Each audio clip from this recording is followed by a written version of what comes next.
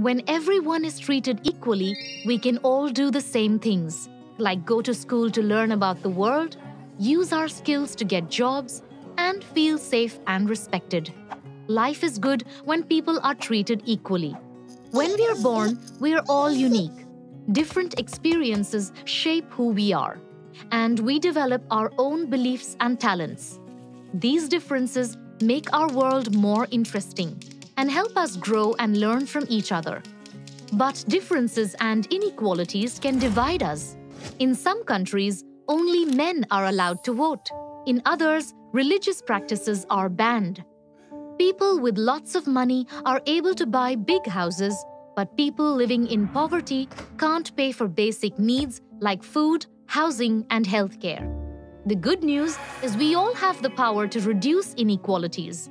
When girls were forbidden to go to school, Malala Yousafzai used her voice to raise awareness. She wrote a blog about her experience and shared it with the world.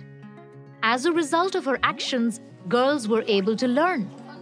By celebrating diversity, promoting peace and tolerance, and educating people about other cultures, we can all reduce inequalities and make the world a better place.